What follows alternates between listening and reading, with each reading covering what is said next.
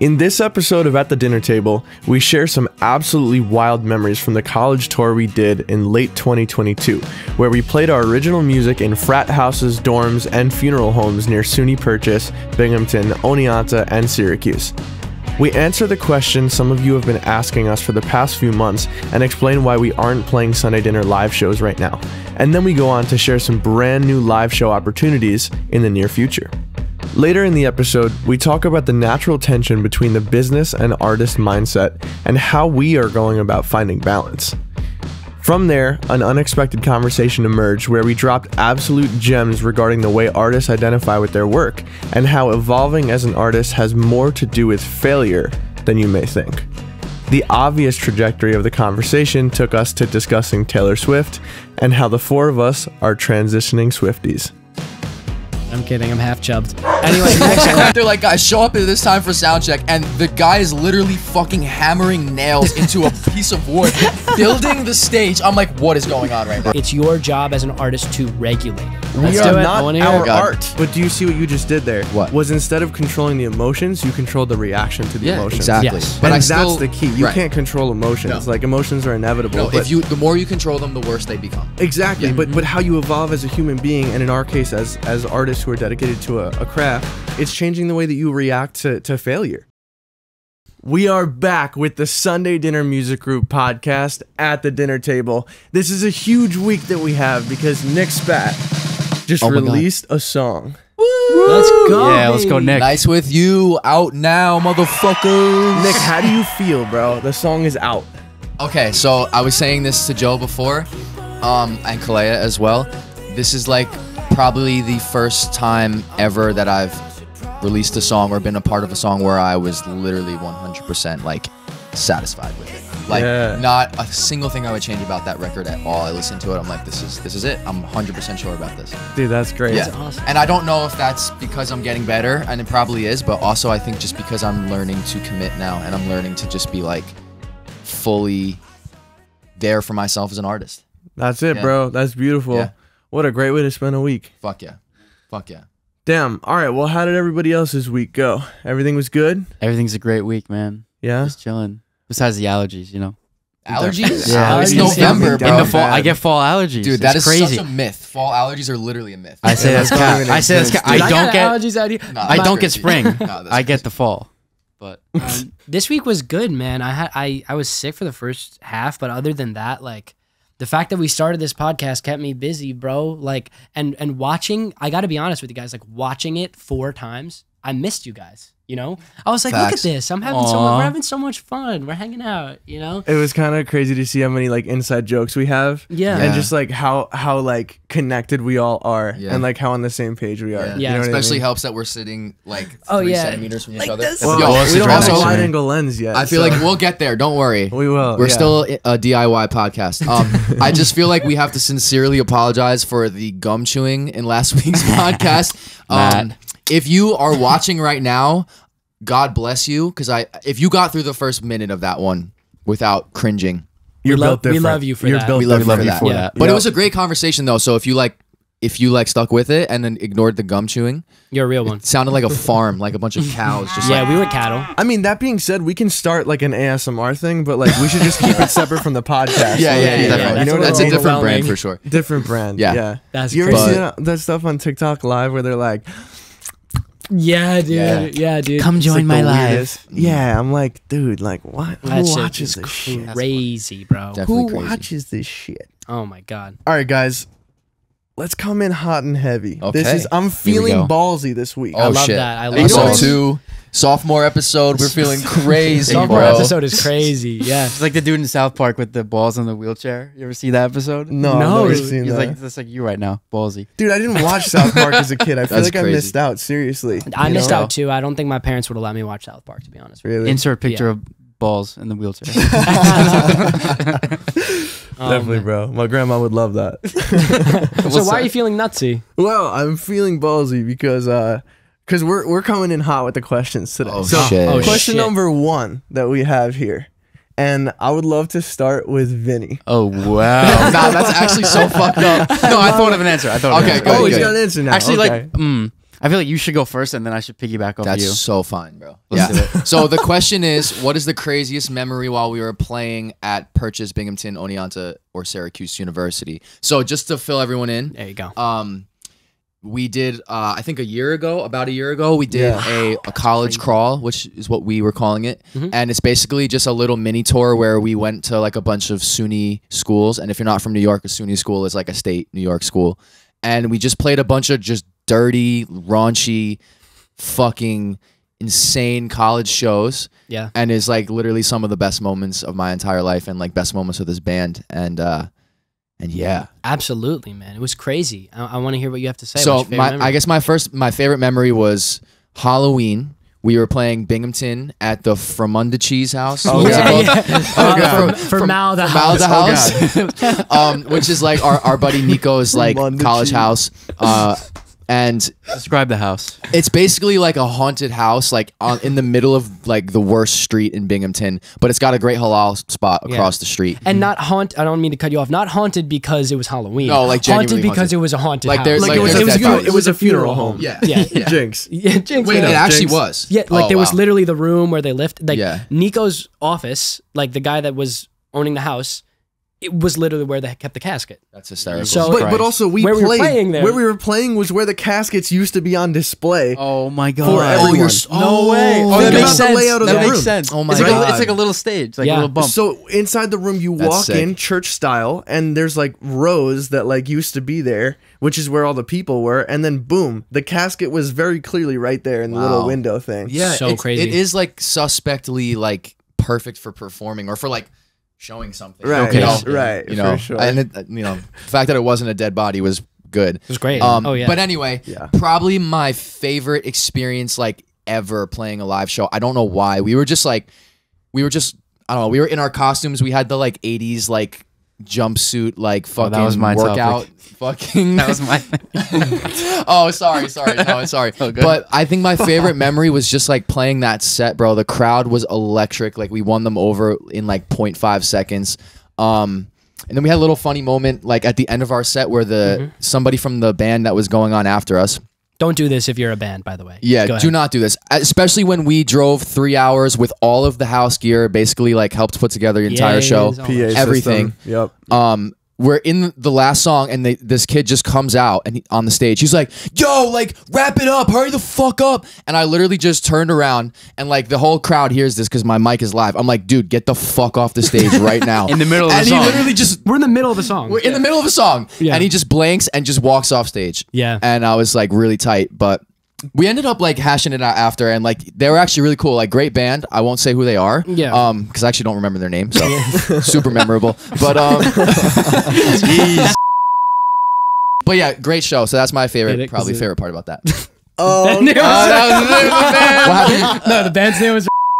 oh, Bleep it. Bleep. No, it's all bleep. yeah. Okay, bleep. bleep. Um, so I can Oh, go geez. next then, if you want to think. Wait, can I just say, I remember shivers going down my spine when Nick said, get the fuck off the stage. I felt like such a badass through association. Yeah. You know what I mean? Because Yeah. like Nick said that, and I was just like, yeah, man. Yeah, yeah. We're a Yeah. band. and, and you know what? I, I think that like plays into our like dynamic as four people. Not to get so deep about it, but like if you do something like that, like it's just it's on site that the four of us like claim that energy, Yeah, and we're yeah, just there. yeah, like totally, if I see. Nick saying like, "Yo, get the fuck off the stage," the four of us are gonna be like, "What do you want us to say? Get the fuck off the stage." yeah You know what I mean? Yeah. Like we're gonna be there. they were just they were just nervous also joe's fucking drum solo that night was probably the best one ever, and we have a video of it too so we're gonna play that Insert.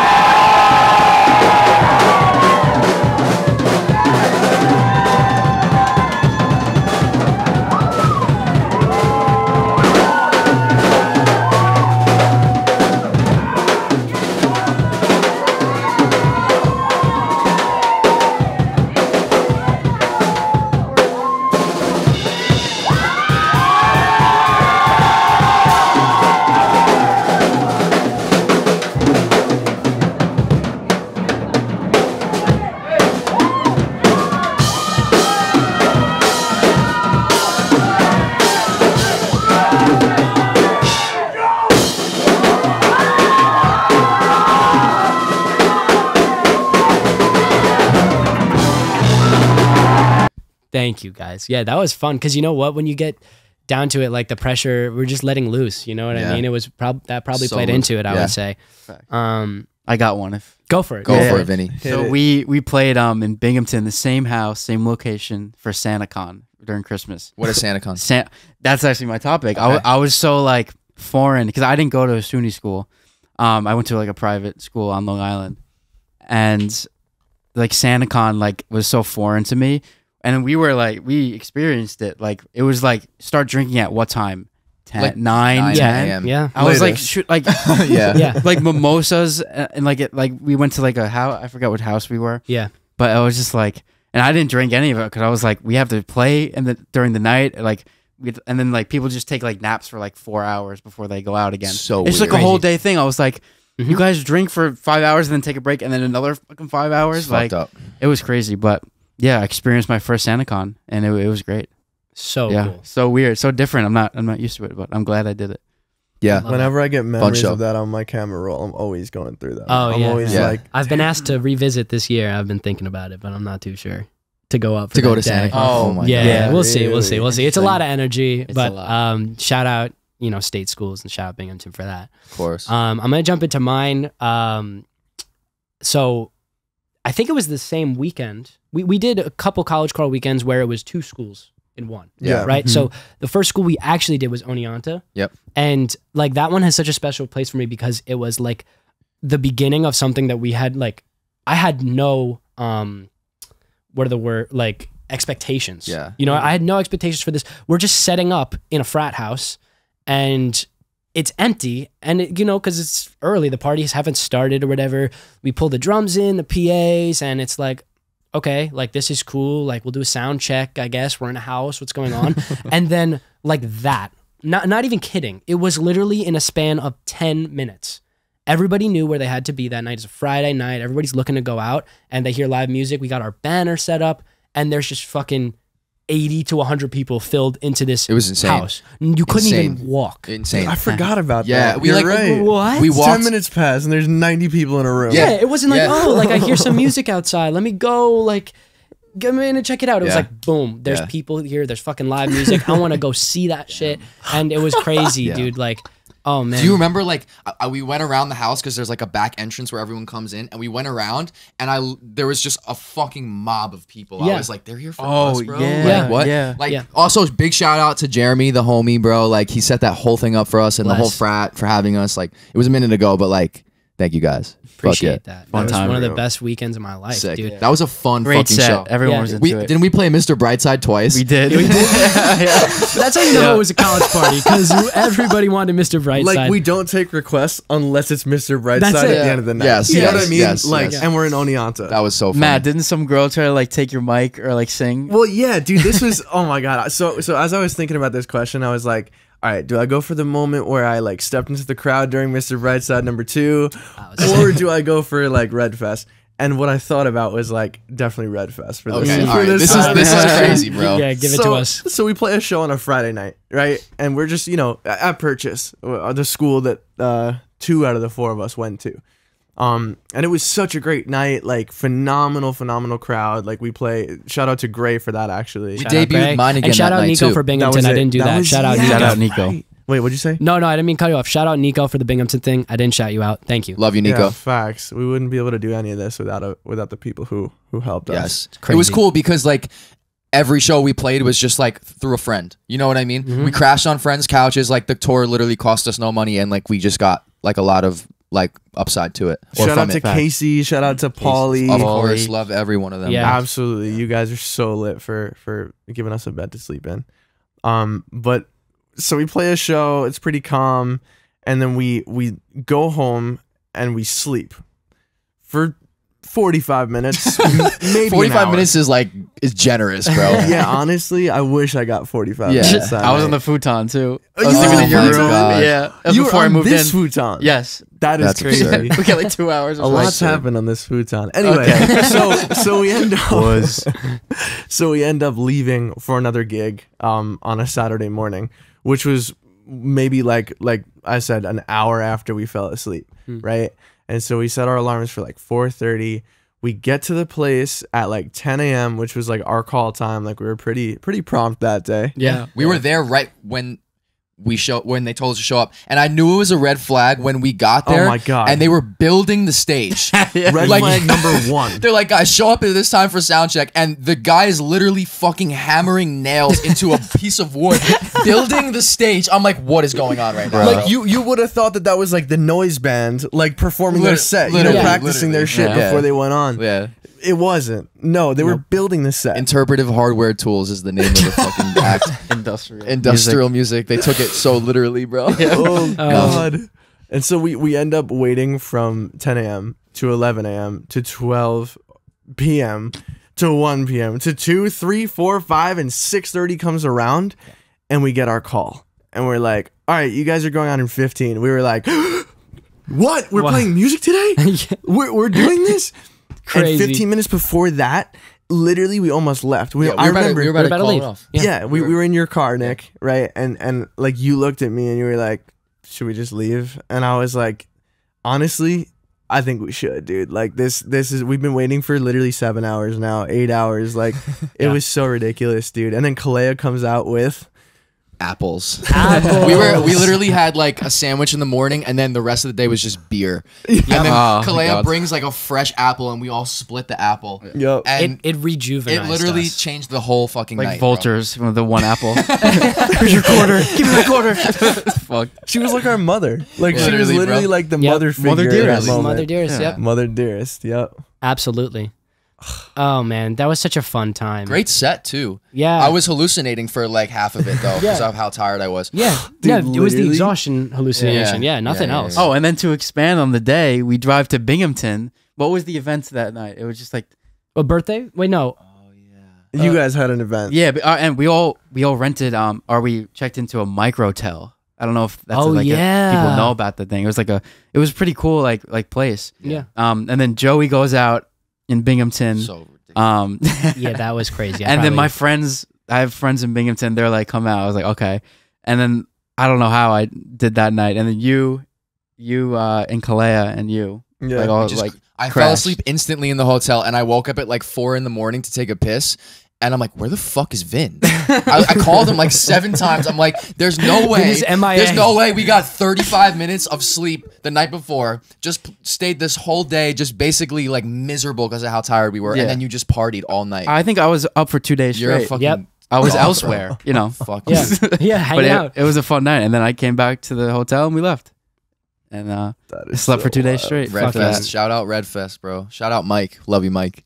Yeah, Yeah, Mike. Mikey. Thanks, Bosage. Why don't we move on to the next question? Yeah, this is actually a great. This is a great segue. Yeah. So, um, what what do we mean when we say we're not playing shows because we're not a band right now? Con- controversial. Controversial. question. Yeah. so- Quite controversial, especially to all the people that were riding with us for uh, for the college crawl. absolutely. Anybody want to take a stab at this one? I've just gotten this question so many times. Yeah. Yeah. You know what I mean? It's like like how could we not answer Yeah, this? we should. We, we owe that to all of the people who you know love seeing us play. Yeah, 100%. yeah, and I think it's it's nostalgic for us too because like playing shows was so much fun as we just Core illustrated memories. for you. Core memories. But like at the same time, like we have different goals right now, and it's not that we're never gonna be a band again or play shows again. It's literally just that our goals right now are much more aligning with like a record label. So we want to sign artists, we want to develop, uh, you know, artists like brand and stuff like that. We want to develop Sunday Dinner as an artist. Um, we want to develop Matthew. Nick Spat wants to develop Nick Spat as an artist. Hell yeah. Hell yeah, Um, man. so we're kind of going down different routes, but like once Kalea or someone like goes on tour, we're gonna be the band, Yeah. dude. 100%. That's yeah. gonna be our call, right? Exactly. Of course. Exactly. We gotta do that. So you can catch us like in a couple months, maybe, or a couple years. Hundred percent. I envision it like us like putting on putting our superhero costume on the shelf and then like the day crime comes like the light is just shining like right on the Like Incredibles. bro. yeah yeah you know what i mean like so I, right. I gotta put the suit on man Yeah, yeah, like yeah. if it calls to us like we're gonna do it you know Yeah. we're just gonna follow when we need to and and when it's gonna happen is you know anybody's guess but it Definitely. it will happen It will. It did actually. I mean, we we played last month. We were in Vancouver writing uh, an album with Kalea, and we played a show at this venue called the Roxy, and like just all of us kind of reminded of how much we love being on stage and how fucking honestly good we are at it. But um, but like I think that tours for sure, and also if you saw our um the Sunday dinner, like Matt and I, we had a senior project when we graduated college, and basically the whole idea was like a multimedia show with us backing the band, but with like tracks, and we featured all the artists that we've worked with over the past couple of years to kind of like sum up college. And basically, we want to do events like that every you know couple of release cycles, so that we can feature all the the collaborations and artists that we've signed and worked with and shit like that. So stay tuned for stuff like that for sure. Oh yeah, absolutely.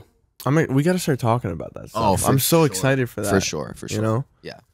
once we have some artists. Yeah. Hell yeah. Um. Okay, number four.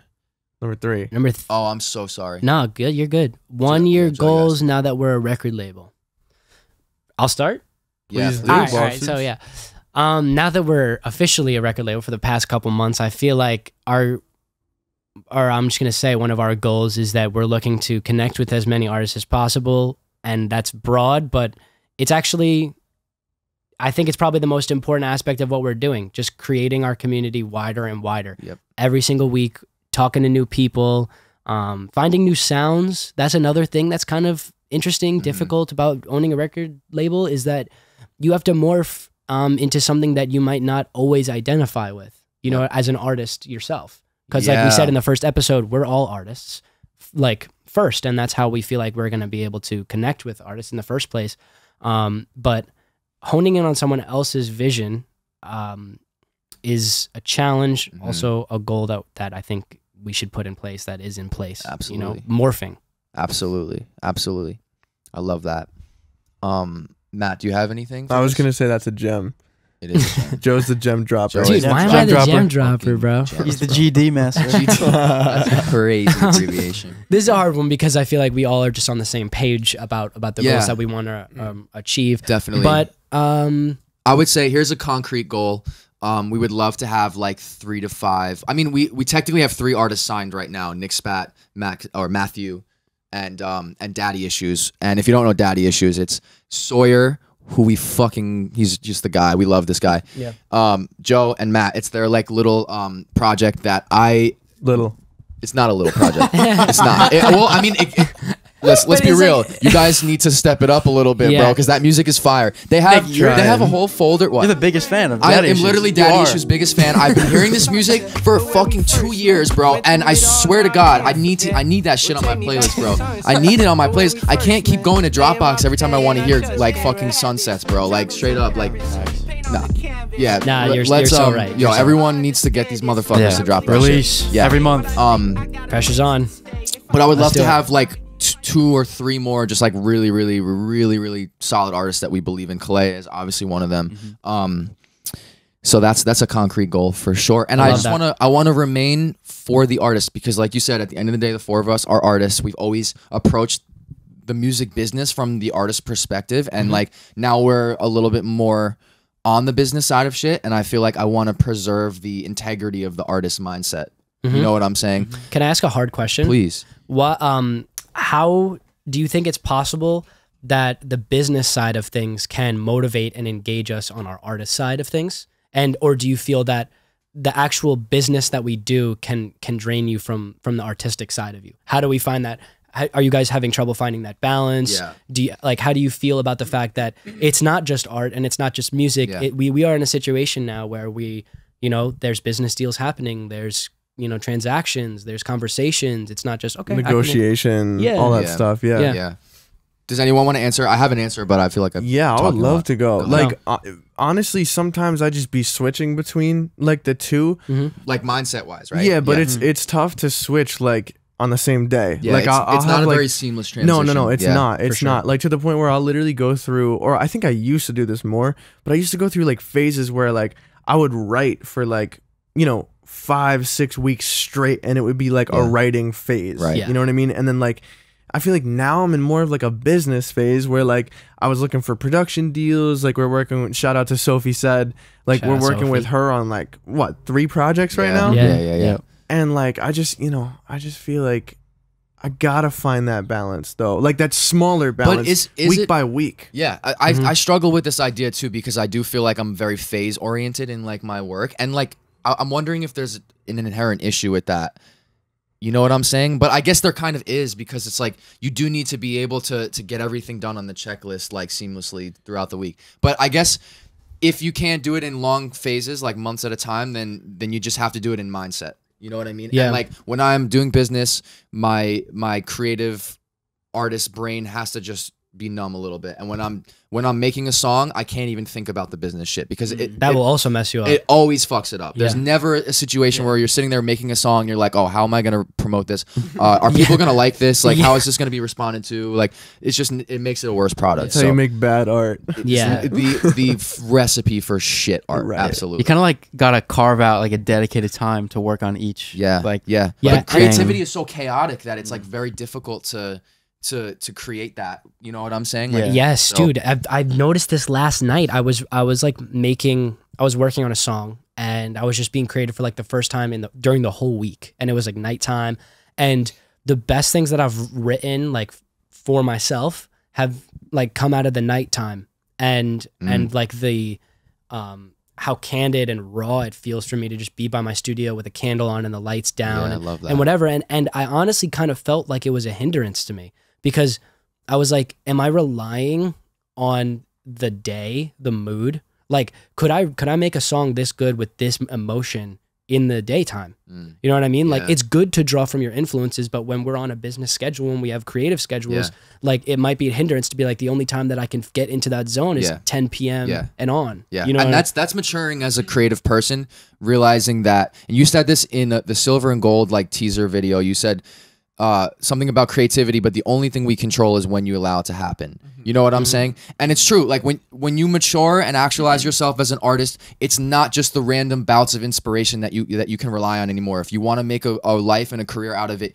you have to learn how to just cultivate that. You know what I mean? That that needs to be something you can just draw whenever you need. yes I feel like I can uh, uh, relate it to like thinking about an actor wanting to cry on site Yes. You know what I mean? Yes. like how do they get to that emotion it's because they've trained their creativeness and their mind to get to that point Yeah. whenever they need to Absolutely. great analogy, Mr. Analogy over For here. real, for real. Jeez. dude I Love don't know that. what's Yeah. good with me right now I'm just like I'm like in on fire dude I don't know Yeah. He's, he's in fire. I'm in fire. He's in fire. Put a clip of me in fire. No, You can Um, find Joe in fire here. yeah, it's so hard to find that like be creative right now and like have that discipline because like if you wait for creativity and like to be inspired, you're never gonna get anything done.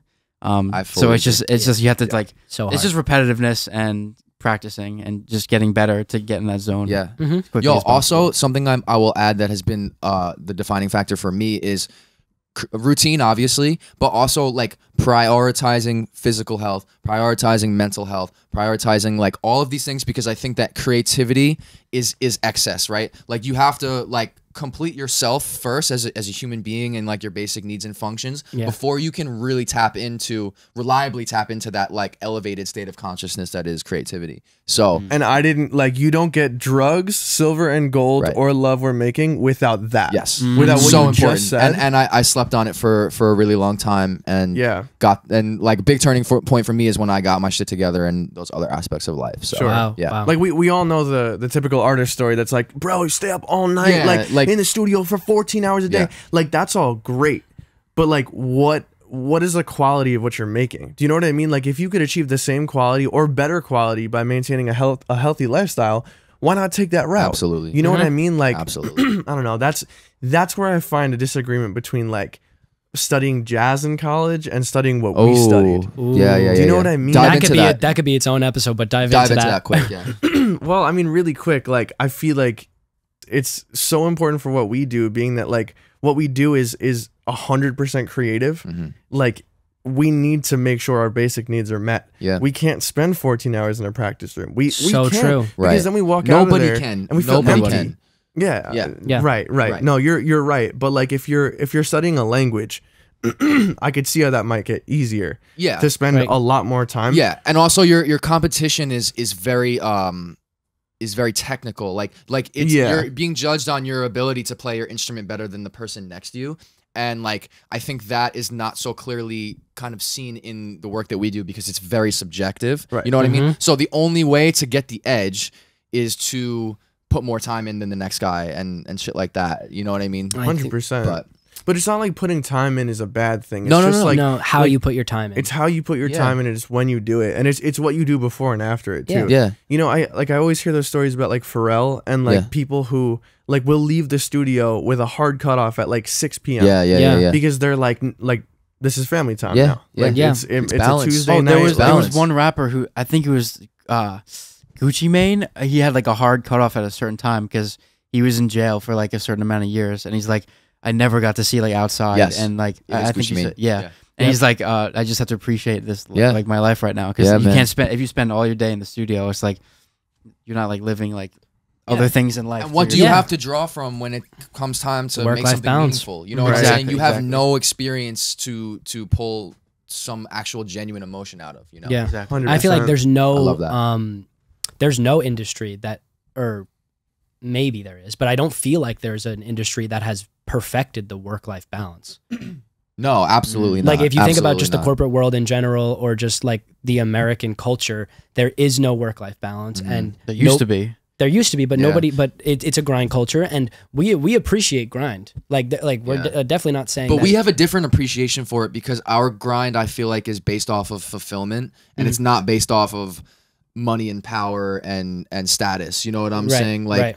so I don't know. It's kind of it's kind of interesting. Yeah. And not saying not because you can obviously get fulfillment from any career, but I just feel Of like there's a lot of like nine to five heads that just kind of do it for the for the money, not really. Absolutely, and I nine to think five nine to five heads is a funny way to put it. but I five think I mean this is biased because this is I'm part of this generation as well. But I think this generation is trying to push that boundary. And Yeah. be like I don't want it.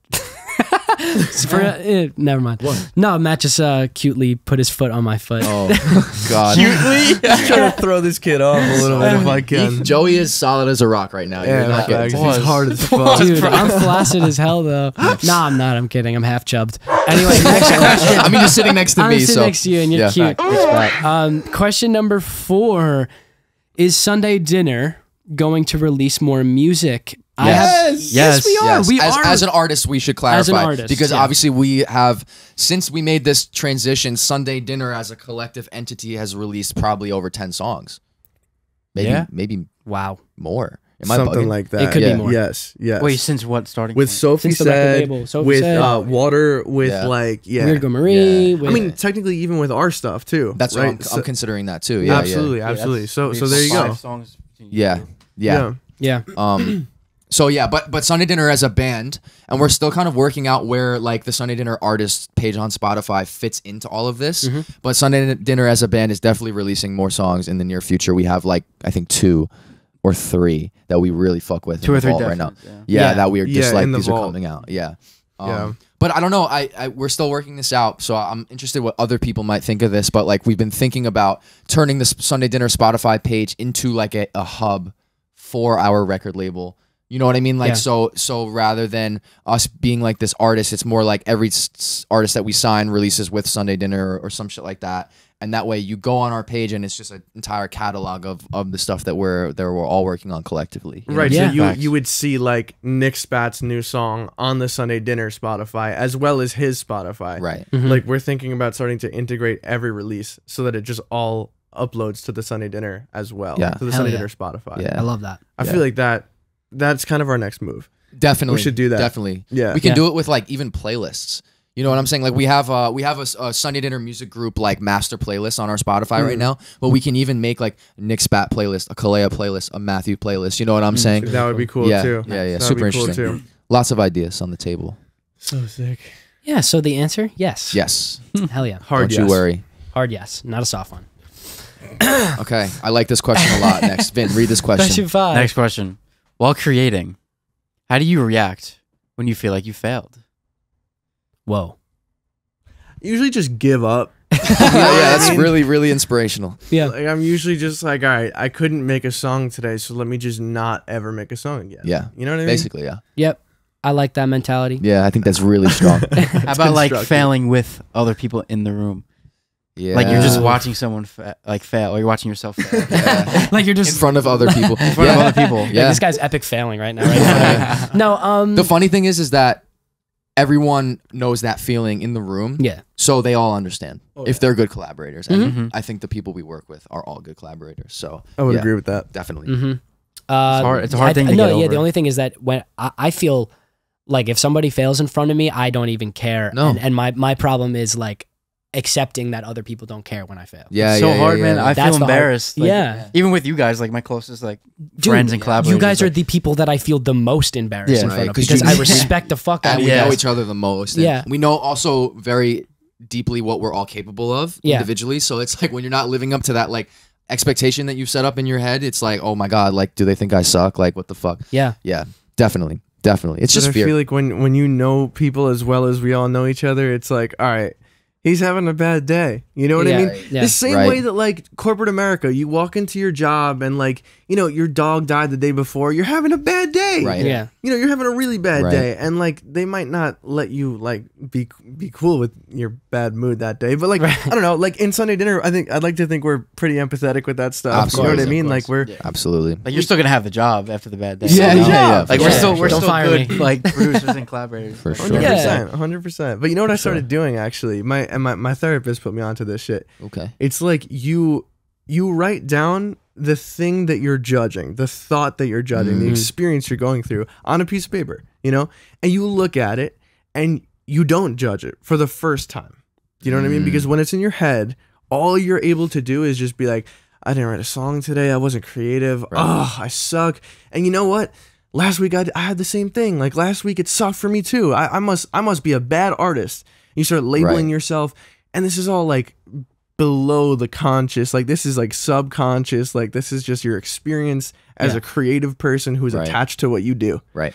And so what I did uh, two days ago was just that.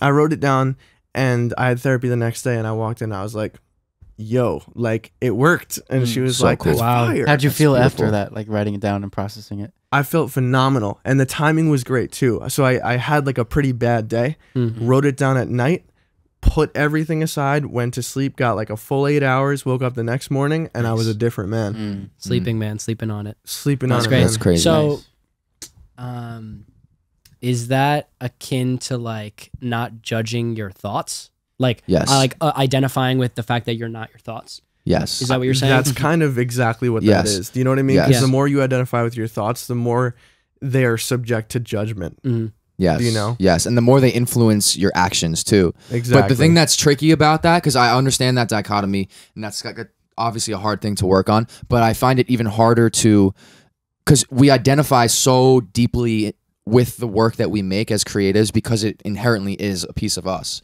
So it's very hard to separate from that because it is us. You know what I'm saying? Mhm. So I, I think, but you're not separating though. You're you're um, acknowledging it and accepting it.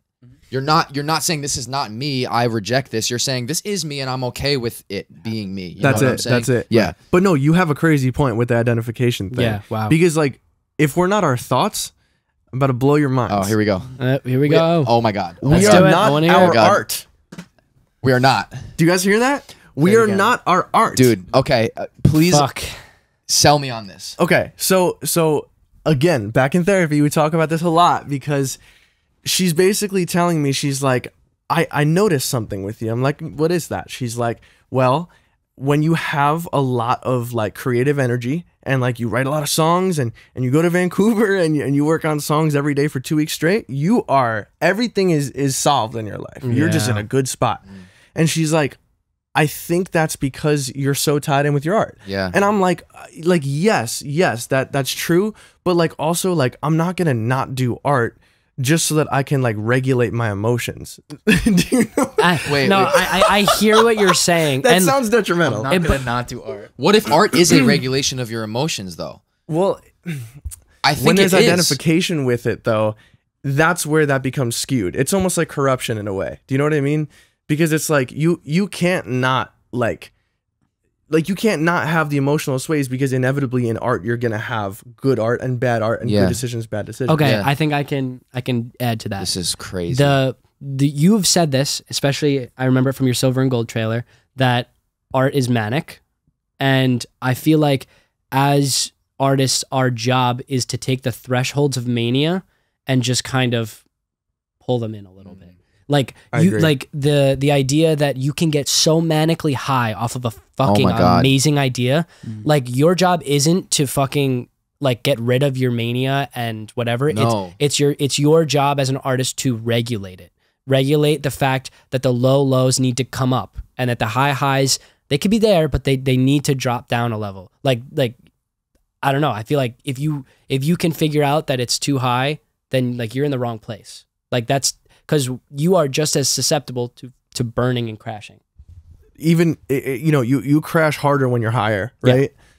Oh, definitely. Mm-hmm. Um, but I don't know. I, I feel like um, I feel like we do identify with our emotions though, and and the whole idea and the uh, the advice that I've heard from psychology is that you you can should feel your emotion and you should uh, understand it, but you should not let it dictate a reaction that is like detrimental to you Yes. or somebody else. That's kind you. of what I'm saying. Sure. Like Yeah. regulation. Yeah, regulation, right? Yeah. Exactly. Um, so I think that like you can identify with a piece of art as being a piece of you, but it's just a piece of you in that moment, right? And tomorrow when I wake up, I'm a different person. Right. You know what I'm saying? So that was me yesterday, and maybe I don't love that. That's fine.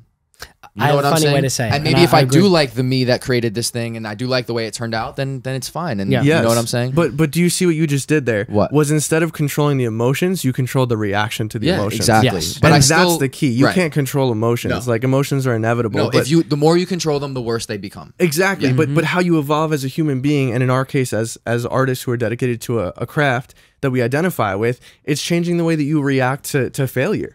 Yeah. And so this kind of ties Oh in my with god, the question. dude, that was Wow. full fucking circle. Holy Oh, shit. shit. bro. no, dude. oh man, and- my head is dizzy. that was crazy. all right, we're back. We just had to adjust the ISO on the camera because it's getting dark in here. But we're having we're in the middle of such a crazy like self discovery like like actualization Beautiful. conversation. And all thoughts I've been having recently too and trying to work out. So it's like it's really fire to like actually hash this out. for sure, Yeah. for sure. Yeah. yeah. Okay, so for our next deeply um you know, emotional and just like transcendental com- uh, question is Taylor Swift fire or not? Oh man, this is such a hard. All right, I'll go- I'll go answer. Great segue. Um, Thanks, yeah, yo. Let, let's um let's just start this with the fact that we probably have Swifties following us, and we don't want Swifty Nation to destroy us on episode two. I'm a Swifty though. Okay, I've I've made the I've made the the transi- transition to a Swifty. have? I absolutely What's have. your favorite song? by Swift? August. August. August. You don't you don't like September? That's Green, that's Green No, Day song. you know what it is, bro? Oh, I was gonna say that's a disco I, song. I I fully respect your opinion if you love Taylor Swift. I fully respect your opinion if you don't. But shut the fuck up. Like, no, genuinely, bro. like a hot take. coming specifically at the people who we need a button for you saying that's a hot No, but like Who? like what happened? Like who are you saying? I just I up? think people just th- like some people hate on Taylor Swift because they think it's trendy and and and and badass and like punk, and then some people just are like just listen to somebody else. You know what I mean? Like Yeah. she she's a, an excellent artist. She wouldn't have billions of streams. She wouldn't have the most successful tour ever if she wasn't a brilliant artist. I just don't I don't see the the the, the connection I agree. there. But I like her music. I appreciate it for what it is. Do I listen to her every day? No, but I think she's she's a quality artist and and she's great. That yeah, that that's kind of where I align is that it's like you you can understand that Taylor Swift's music might not be for you, but you can't take away the fact that it's authentic and people are authentically relating to Yes. her thoughts and ideas. Yeah. Mm-hmm. Like that's such a big part of it. I like my younger sister, shout out Jamie, she's a fucking Shout Swifty. She's a diehard Swifty. And you know what? Taylor talks about young love. And and once you realize that and accept that, like it's not catered to you. Like you you might not relate to it. But that doesn't mean you can't respect it for what it is. Yes. That that's where I Ties into our conversation in episode one about country music too. I think it's the same idea, right? Bro, I was just about to say Yeah. that Yeah. shit. Yeah. Jeez, man. the alignment is Also, crazy. a lot of artists talk about young love. It's just presented in a different way. But That's I so feel true. like I wa- I was on the trendy hate Taylor wave. Yeah. Now I'm like slowly getting out of that. Yeah, I was- I'm like I I'm was- kind of indifferent. I dude, right yeah, this I was this deep into that. This I was was recent. Definitely, I was Yeah. deep into it. I had a conversation with some buddies um, about it like a month ago probably, and I I found myself actually defending Taylor Swift, and I was Mm. like, what's happening right now? Yeah. Um. She's an artist at the end She's of the a day. great artist, and we are artists. And, Yeah. and you know what? We're gonna defend that. Yeah. Absolutely. I could just see you in the car, like on the way home, like, what's happening to me? I'm defending Taylor Swift now. what the fuck? Am I a Swifty? Uh, dude, and like the whole NFL like Taylor Swift thing is so crazy because like Oh yeah. it like it really just goes to show like how much of a control she has over media and like and she her her, Yeah. her fans like they they just are diehard for her. Yeah. You know what I mean? And Yeah. and like that's something you can really like strive for a- as an artist is like my people like will fucking ride or die for me. You know what I mean? And like uh, we can cut this out if we all disagree, but I feel like this is an like important thing to say. I feel like the difference between like a Swifty fan and someone that's not a diehard fan is okay, like we fucking love Taylor, so we're gonna watch football on Sunday and we're gonna learn the rules to football and we're gonna watch it and we're gonna wait for her cameos. You know what I mean? Like that is literally the most dead. Like that is just the craziest dedication that I've ever fucking seen. Yeah. People yeah, are yeah. actually doing that. Dude, Yeah, you don't think that my sister is in a? I sw- I'm. She's watching, like, God, what's her she's name? wearing a Chiefs jersey. What's his name? S- Travis Kelce. They were he's they were watching like Travis Kelce, whatever team he's on. Yeah, the That's Chiefs. awesome. dude. Like, Wow. like I don't know, bro. That that shit is crazy. And like I'm not like that. Obviously, I She's fucking got a chokehold. I, I'm my favorite era of Taylor Swift is 1989. So I've been over the moon about the the Taylor's version dropping. Like um, that's the kind of shit that I'm into for, from her. Um, and the OG Speak Now. Oh, absolutely. but like you know what I mean. So it's just crazy. yeah. Anything you want to add? I feel like you didn't get to say if you're a, t- a Swifty or not. no, I mean, like, my dislike for the music made me paint this image of her that, that wasn't preferable. Do you know what I mean? Like, Yes. like and- millennial. Yeah, thing. like I Yeah. was Derogatory. like, oh, like, Yeah, yeah. I could Like- see that, and like she's got that millennial energy to her. sure, sure. For but I mean, we all write we all write songs about the same things sometimes. You know what I mean? And, Yeah. and She's I, a little I- I really think that like from a business perspective and from an artist perspective, like she's got that shit on lock. Yeah. Yeah. You know, you can't hate on her. Better like, I than agree anyone with that. else, probably. and she knows where her inspiration comes from her and if she's if she's like on that same wave that we were just talking about which, which i'm sure she is she knows where she's going to get her inspiration and she draws from it Right. you know what i mean that just means she's in tune with her inspiration And and you guys have like opened me up to that perspective. Do you know what I mean? Really? Sure. That's oh great. yeah, no, I love hundred that. percent. I didn't like. I didn't really consider that as an option before. But like, wow th- the same way that we don't like or we didn't like country music, or uh, the three of us, Right. yeah You know, I just I, I think like the same way that like you don't have to love Taylor Swift. You know Yeah. what Sure. I mean? Yeah. Like, But you can appreciate it and you can, you know, yeah like you said before as as somebody who now co-owns a record label you need to be able to to hop on board to a vision that you normally wouldn't put yourself onto you know what i'm saying Yeah. and that's an important skill i think for for anyone who's in this industry but i think also just as a consumer of of art you should also kind of understand that and like Yeah. your your taste is important and there are things that you like and don't like but i don't think that because you dislike something it it it devalidates that thing you know what i'm saying Yeah, hundred percent, hundred percent. Yeah. But like, it's it's also so simple to take the stance of I hate Taylor Swift. Do you know yeah, what I mean? Yeah, exactly. Like, Especially because hate- of the, the magnitude of how much people like her. Like it creates course, an equal dude. equal and opposite reaction in the you know what I'm saying? But we always against- see that. We, Yeah. Like people who have big Right? lovers have big haters. You know yeah, what like I mean? like mi- nobody has crazy conversations about just genuinely mid artists. You know what I'm saying? Right, right, Like, no one's like I fucking hate them. Like you just don't care. yeah You know because Yup. there's not all you know a million fucking teenage girls like paying. My cousins went to see her in like Kansas or like some shit like that, and like the flight to It's- Kansas and like all that shit was still less expensive than just buying a ticket and seeing her in New York. yeah yeah Wow. my family's experiencing the same thing absurd. it's Do crazy you think if the if the Chiefs um go to the Super Bowl and let's say in the future and Taylor plays at the halftime Oh my God. oh my like gosh hypothetically, you think half the stadium would just be Taylor Swift fans? Absolutely, because and- they'll see her at Oh, a yeah. cheaper, t- Yeah. Dude. cheap ticket. this you is me being like like I'm now I'm riding this too hard, but I'm gonna say it anyway. Taylor does not even need to play the Super No, Bowl. she owns No, the NFL.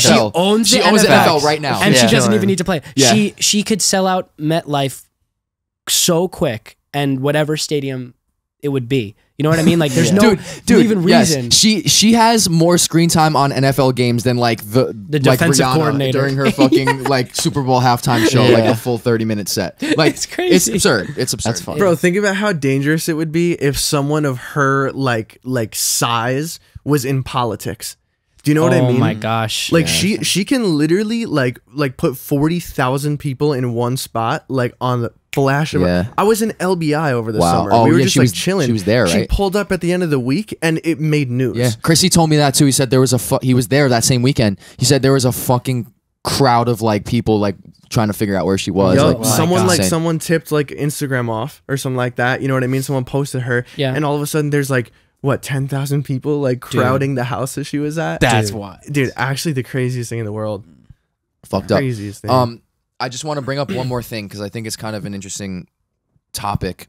Um, how does somebody who like Olivia Rodrigo, who caters to the same demographic of fans, Yeah. why There you go. why do why Mm. do we feel like she's more authentic or like like why why do I like Olivia Rodrigo like I'm a super fan of Olivia Rodrigo probably I'm not a super fan of Taylor Right. what what's the difference is it the generation do I just align with Olivia because she's from my generation That's like my initial thought is that it's so she's so like on the curve. It feels like Olivia. Yeah, Like yeah, her yeah. music is is like Taylor's music is Taylor's music the same way that Adele's sound is Adele's sound. Right, but- and then Olivia right. is riding the wave. she's her fingers on the pulse Hope- yeah yes. well, take away anything that doesn't have to do with music taste, Mm-hmm. and and you tell me why you like Olivia more. um fuck man That's so hard. oh yeah that is hard Take away music, you said? No, no, no, no. Take away like the fact that Taylor is from a different generation. Mm-hmm. Take away the fact that like she's very polarizing and very controversial. And now tell me, like, just whose whose music do you like better and oh why? oh I like Olivia's music better just like I'm sorry. Why do you like her music better? Do you know what I mean? yeah, no, it's it's it's taste. I think I, I like I like the sounds and I like the whatever and um I like the direction that she's headed in. I just I don't know. I, I feel like I do genuinely feel like Olivia and and Daniel Nigro like are just genuinely like trying to to to push things. You know what I mean? Uh, their, their music sure. is really good. And it's really cool to me where I can like be like blown away by like the the the risk taking and just the interesting production choices on an Olivia track, and then like a 14 year old girl in my in my guitar lesson is asking me how to play this That's this song so cool. Yeah. because she's listening Do to it on think- the radio. Yeah. Do you think that like longevity wise that that is a a like a good model to follow? Like break it down like this. Sure. If Oliv- if Taylor has Taylor sound and someone like Adele will always inherently have Adele's sound, Yeah, is it a good business model to follow the the wave, right? Because like then you're follow what wave? like like staying on the pulse of things, right? Oh, Like, because- you're, you're saying Taylor is gonna drop like a trap album in, in 2024 or like a hyperpop album, and No, like, it- like, it feels- like should she? You're saying should she and also does Olivia like first name basis does Olivia, um, does Olivia Rodrigo like is she always going to be able to be on the pulse is Mm. she like is that what defines someone that is just a, a generational talent you know like because Yeah. how do you stay on the pulse for 10 years or do you or does she cultivate a sound while staying on the pulse fuck. that's a I I, think she'll, she'll probably do both, honestly. But when the when the artist's so good, like I'm just gonna use like John Mayer. You know what I mean? Like like you go to John Mayer for John Mayer, not because he he was really good at staying on the pulse. Yeah, I agree. But but then I he agree. did he did the '80s thing with New Light, like when that was starting to to pop off, and that song blew up. But his last album is like not. but he getting any mixed it with. John Mayer sound which He, was cool he did he did, but he he was on the pulse, I think, with that one. You know what I'm saying? Um. So I is don't it kind of like a just okay? I'm gonna stay on the pulse, and I'm also I'm gonna stay authentic to myself at the same time and find a mix. I think you can do both because both are timeless, right? It's timeless to to to create something. Adele has created something, Mhm. right? Adele is now a genre of music. Taylor is now a genre of music, right? Yeah. So Mhm. they don't have to have the finger on the pulse of anything because they've already created something timeless. Yeah. But it's also timeless t- for Kanye to just influence the fucking entire music industry with every album that he drops. Yeah. That in a completely different way. Yeah. You know what I mean? That's also timeless of him to just change it every single time. Yeah. So I think they're both, you Both know, applicable for sure. both applicable both applicable i think the the the the genuine way to go about it is to just be like i'm going to be a culmination of my influences and as the industry changes Yeah. i'll change with it because not because i'm trying to follow it be- because i'm in, being influenced by the things that i'm hearing Yeah, and it's fun. just let it It's happen fun to organically. try the new things. Yeah. You know what I mean? Yeah. Like Yeah. there's like it's it's lit. Yeah. You do something new. Yeah. By definition, like an artist is someone who pulls from their in, their uh, influences Yeah. around Yeah. them, right? yeah, Yeah. And so if if Olivia Rodrigo is like you know listening to to the new shit that's happening, you know she's probably gonna go for it. She's probably gonna take a stab at that hyper Fuck pop yeah. beat. You know. Interesting. I don't know, but like that being said, like people who stick with the trend Does that feel corny? solely, they like yeah, it's it's tough because people who are trying to predict like the next trend is like I don't know, it's like, like the 80s with like all that giant sound and stuff. You know what I mean? Like you're trying to predict the next thing. Is that what you're saying? like more so people who are like yo like i need to get on like the the next thing that like drake is gonna go for Right. like Mm. oh he just started doing house stuff again let's Right. let's start doing house stuff you know what i mean exclusively like the the trend chasers Yeah, and you know what? That's so true because I feel like if you're asking that question, like, oh, Drake just put out a house thing. Let me do a house thing. You've already missed it. this has been at the dinner table episode two i'm matthew I'm Joe. I'm Nick. I'm Vinny. and this is this i mean No, but it's the Sunday dinner logo. yeah, i'll edit that in right here Like, let's, all- let's all do it let's all do What are we doing? The Disney thing? no the sunday dinner logo. Start with the circle. Start with the circle. Let's draw the fork, fork on the left, fork on the left, three left. prongs, one, two, three. One, two, three. And the knife. Knife. There we go. Good. All right. Shout out. Thanks Sunday for tuning dinner. in. Subscribe. Peace out. All right, so actually, who farted before? I swear to you.